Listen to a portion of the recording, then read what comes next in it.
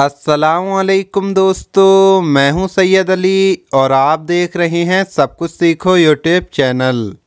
दोस्तों, आज की इस वीडियो में हम आपको बताने वाले हैं एक लड़की का वाक्य, जो रोज़ रात को घर आती थी, यानी रात को देर से घर आती थी, और उसकी माँ ने जब उसके कमरे में कैमरा लगाया तो उसको क्या दिखाई दिया, आगे हम आपको वीडियो में बताएँगे। वीडियो शुरू करने से पहले अगर आप हमारे यूट्यूब चैनल पर नए आए हैं तो चैनल को सब्सक्राइब करके वेल आइकन ज़रूर दबा दें। तो चलिए वीडियो शुरू करते हैं। दोस्तों, हज़रत अली ने एक मरतबा एक कब्र वाले का हाल बयान फरमाया और बताया कि कब्र वाले पर आग का अजाब हो रहा है।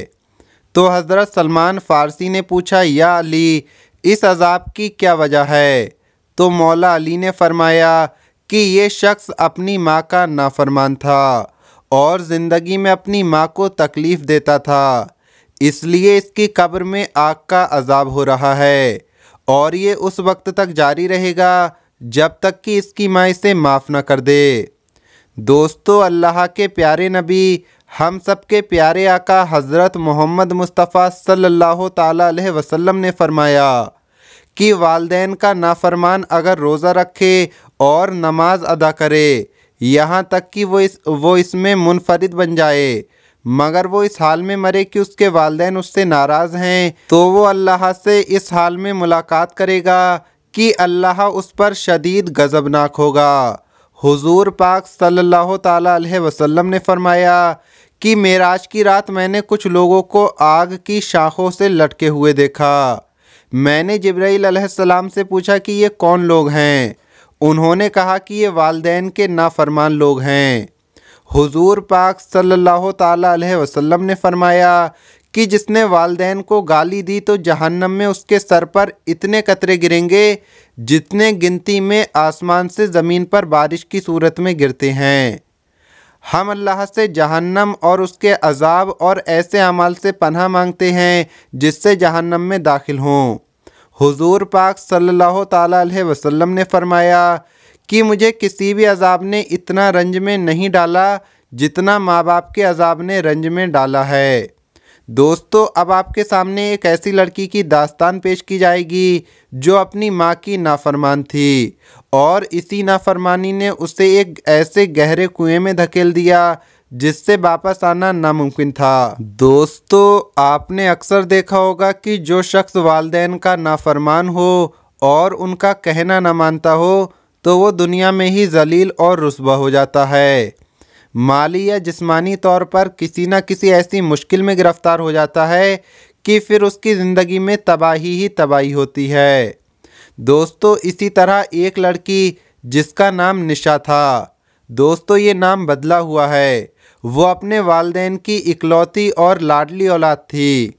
निशा के बाप ने उसकी माँ से पसंद की शादी की थी, जिस वजह से वो अलग रहते थे। कुछ वक्त से दोनों मियाँ बीबी के दरमियान तलखी पैदा हो गई थी और लड़ाई झगड़ा होने लगा था। ये लड़ाई होते होते तलाक तक नौबत पहुँच गई। निशा के वालिद ने उसकी माँ को छोड़ दिया और दूसरी शादी करके उस शहर से दूर चला गया। निशा अपनी माँ के साथ एक किराए के मकान पर रहने लगी। लेकिन घर में वालिद के न होने की वजह से निशा का मिजाज दिन ब दिन ख़राब होने लगा और वो अक्सर अपनी माँ की बातों को नज़रअंदाज करने लगी।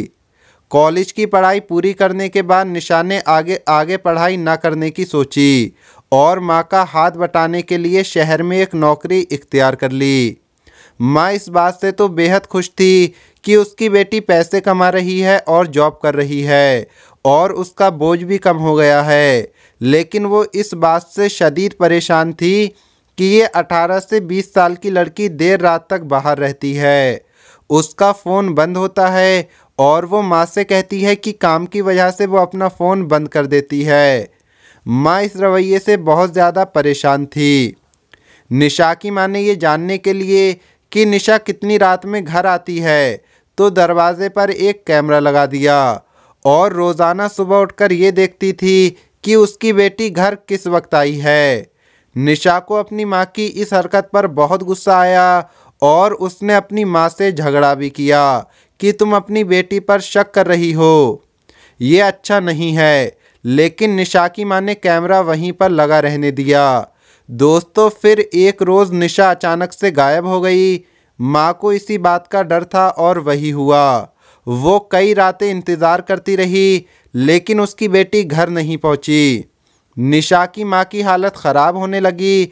उसने बदनामी के डर से किसी से भी इस बात का ज़िक्र नहीं किया। और घर के दरवाजे पर खड़े होकर अपनी बेटी का इंतज़ार करती रहती थी। न उसने किसी मोहल्ले वाले को बताया और न अपने रिश्तेदार से इस बात का ज़िक्र किया। एक रोज़ निशा की माँ दरवाजे पर खड़े होकर उसका इंतज़ार कर रही थी कि अचानक कुछ सोचते सोचते वो बेहोश हो गई और बेहोश होकर ज़मीन पर गिर गई। मोहल्ले वालों ने उसकी माँ को उठाया और अस्पताल ले गए। लोगों ने देखा कि माँ अस्पताल में है और बेटी ना तो घर पर है और ना ही अस्पताल पहुँची है। मोहल्ले वालों ने ये बात ये बात जाकर पुलिस को इत्तला दे दी। पुलिस निशा के घर पहुँची और सारा मामला सुना। माँ अस्पताल में कोमा में पहुँच गई थी। पुलिस ने निशा के घर की तलाशी ली और इसी तलाशी में पुलिस को घर के दरवाजे पर एक कैमरा लगा हुआ नज़र आया। दोस्तों, इस कैमरे की रिकॉर्डिंग का जायज़ा लिया गया।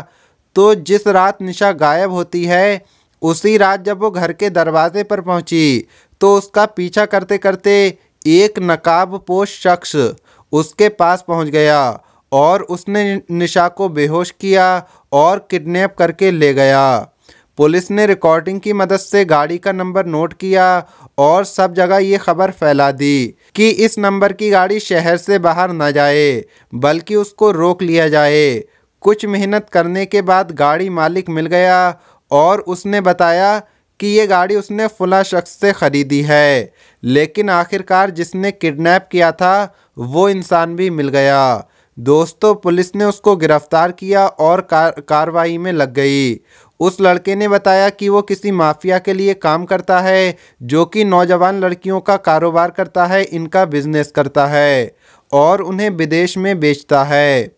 पुलिस ने इसी लड़के का इस्तेमाल करते हुए अपनी कार्रवाई को जारी रखा और मेहनत करने के बाद उस माफिया तक पहुँच गए और उसके कब्ज़े से निशा के साथ साथ अट्ठावन और लड़कियों को निकाला गया।